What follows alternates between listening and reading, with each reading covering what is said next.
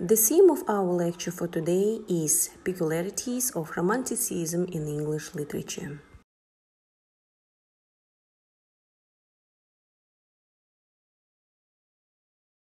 Objectives of the lecture. After the lecture, students should be able to define and explain the Romanticism in English literature, identify some of the major ideas of the Romanticism, explain the impact of Romanticism in English literature, acquaint with the bright representatives of Romanticism and their works.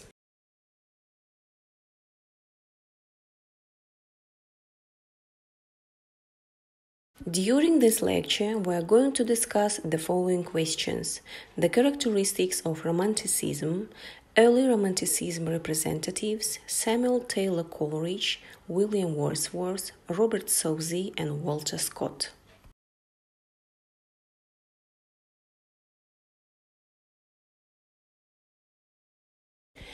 As we look back today over the literature of the last three quarters of the 18th century, the progress of the Romantic movement seemed the most conspicuous general fact which it presents. But at the death of uh, Cowper, the movement still remained tentative and incomplete, and it was to arrive at full maturity only in the work of the great writers of the following quarter century, who were to create the finest body of literature which England had produced since the Elizabeth Elizabethan period. Uh, all the greatest of these writers were poets, and they fall roughly into two groups. First, William Wordsworth, Samuel Taylor Coleridge, Robert Southey, and Walter Scott. And second, uh, about 20 years younger, Lord Byron, uh, Percy Shelley, and John Keats.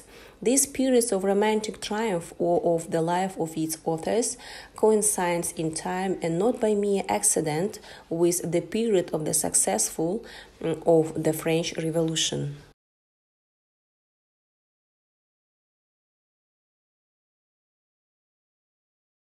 The beginning of the Romantic triumph is found by general consent in the publication in 1798 of the little volume of lyrical ballads which contained the first significant poetry of Wordsworth and Coleridge.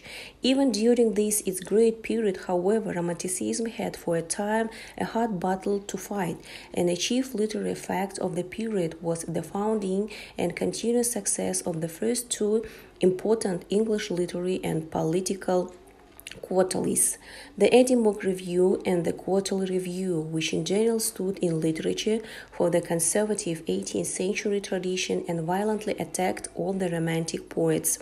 These quarterlies are sufficiently important to receive a few words in passing. In the late 18th century, there had been some periodicals devoted to literary criticism, but they were mere unauthoritative booksellers' organs, and it was left for the new reviews to inaugurate literary journalism of the modern serious type. The Edinburgh Review suggested and first conducted in 1802.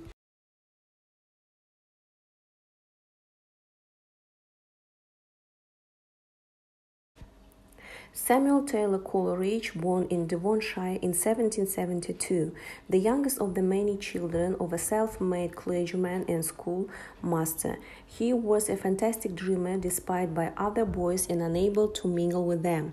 After the death of his father, he was sent to Christ's Hospital, the Blue Coat Charity School in London, where he spent nine lonely years in a manner briefly uh, described in an essay of Charles Lamb, where Coleridge appears under a thin disguise.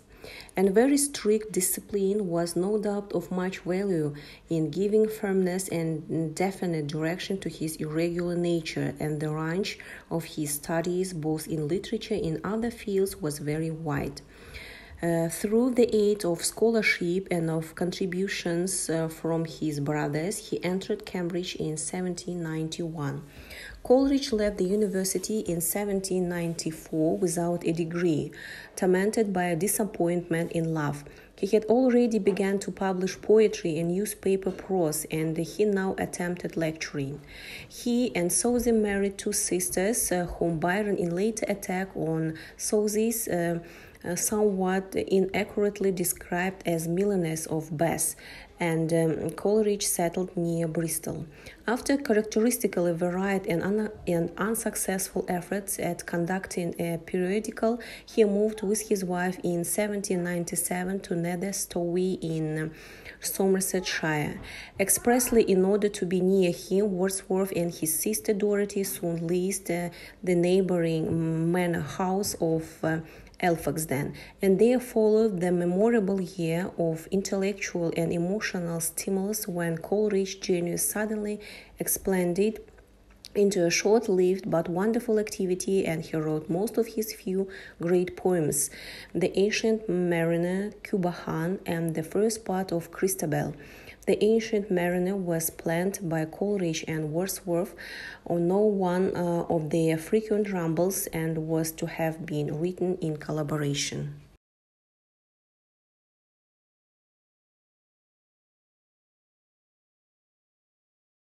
The final result of the incident, however, was the publication in 1798 of lyrical ballads, which included of Coleridge's work only this one poem, but of Wordsworth several of his most characteristic ones.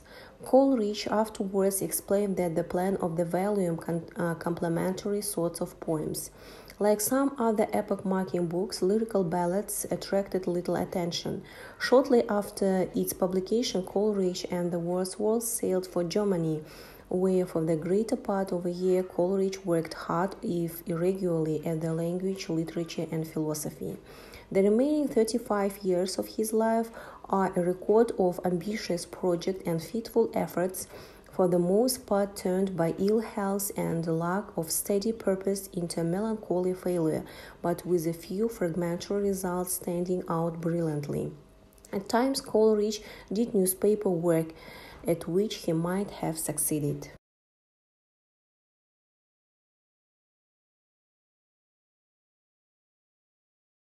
William Wordsworth was born in 1770 in Cumberland in the Lake region, which with its bold and varied mountains as well as its group of charming lakes is the most picturesque part of England proper.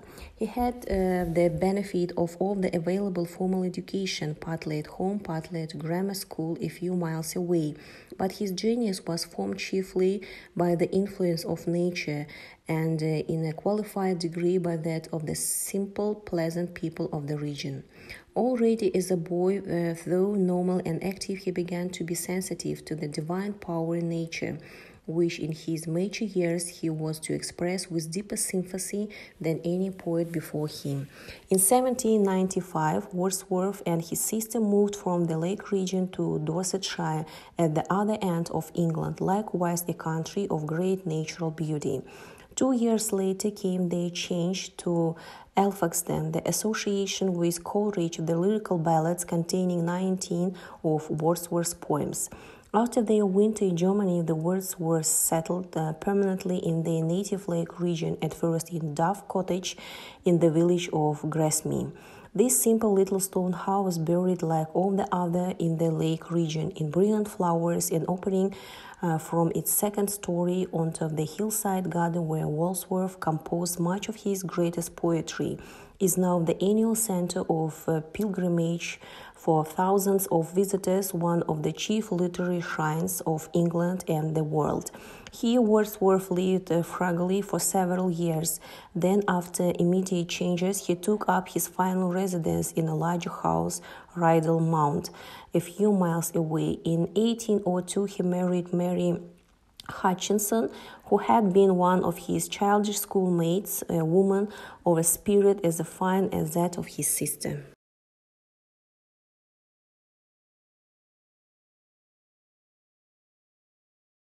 During the first half or more of his mature life, until long after he had ceased to be a significant creative force, Wordsworth's poetry, for reasons which will shortly appear, he had been met chiefly with ridicule and uh, uh, indifference, uh, and he had been obliged to wait in patience while the slighter work first of Scott and then of Byron took the public by storm. Wordsworth, as we have said, is a chief representative of uh, some of the most important principles in the Romantic movement. but he is far more than a member of any movement. Through his supreme poetic expression of some of the greatest spiritual ideas, he belongs among the five or six greatest English poets. First, he is the profoundest interpreter of nature in all poetry. His feelings of nature has two aspects. He is keenly sensitive and in a more delightfully uh, discriminating way than any of his predecessors to all of the external beauty and glory of nature, especially in animate nature of mountains, woods and fields, streams and flowers in all their infinitely varied aspects. Wordsworth, more than any other great uh, English poet, is a poet from, for nature and uh, uh, thoughtful appreciation. Except for a very small part of his work, many readers must gradually acquire the taste for him but of his position among the half dozen English poets who have made the largest contribution to thought and life, there can be no question, so that some acquaintance with him is necessary part of any real education.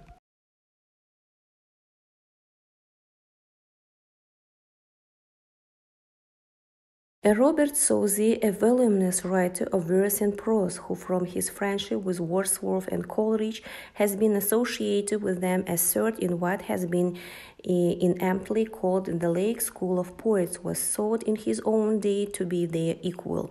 But time has releged him to comparative obscurity. He wrote partly from uh, irrepressible instinct and partly to support his own family, and at times, as we have seen, that of Coleridge.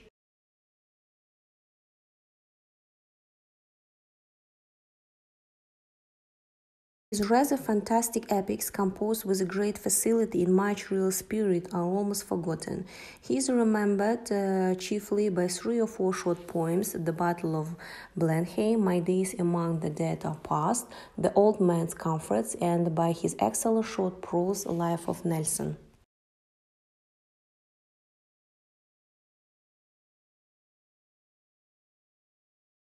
Walter Scott was born in 1771 in Edinburgh, the son of an attorney of a privileged, though not the highest class. In spite of some serious sickness, one of which left him permanently lame, he was always a very active boy, more distinguished at school for play and fighting uh, than for devotion to study.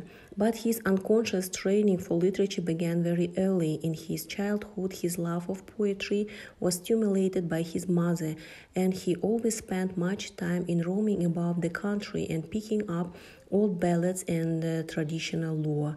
Loyalty to his father led him to devote six years of hard work to the um, uncongenial study of the law, but uh, at 20 he was admitted to the Edinburgh Bar as an advocate. Later in 1806 he was also made one of the principal clerks of session, a subordinate but uh, responsible office with a handsome salary which entailed steady attendance and work at the Metropolitan Law Court in Edinburgh during half of each year.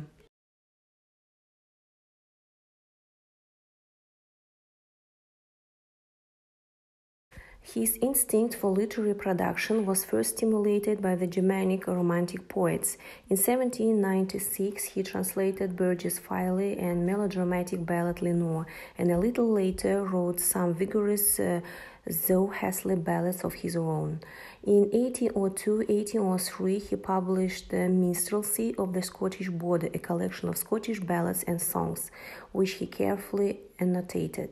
He went on in 1805, when he was 34, to his first original verse romance, The Lay of the Last Minstrel. Carelessly uh, constructed and written, this uh, poem was nevertheless the most uh, spirited reproduction of the life of feudal chivalry which the Romantic movement had yet brought forth, and its uh, popularity was immediate and enormous always writing with the greatest facility, though in a brief hours uh, snatched from his other occupations. Scott followed up the lay during the next ten years with the much superior um, and The Lady of the Lake, and other various romances, most of which greatly increased both his reputation and his income.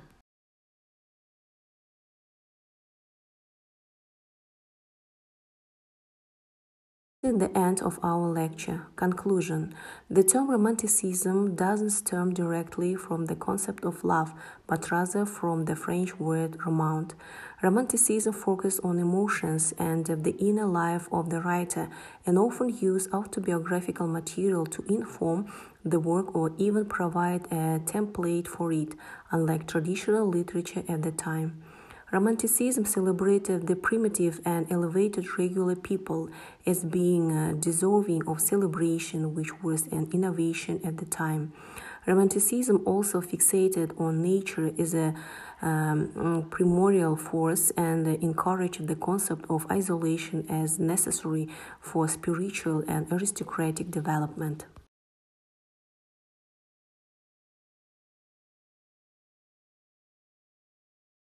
Here given the revision questions for self-checking.